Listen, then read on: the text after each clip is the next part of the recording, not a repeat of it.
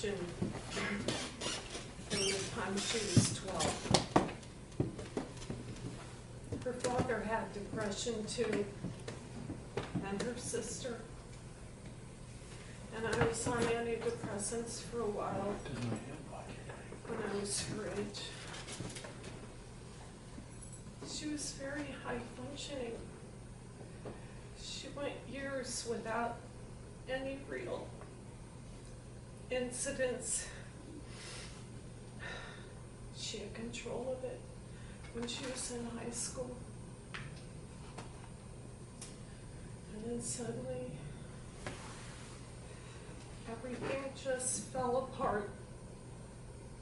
She spiraled. I asked her to move home again, over and over, but she refused. She I saw some. I really thought she'd get past it. I thought it's only a matter of time until she finds the right medication or the right therapist and everything will go back to normal.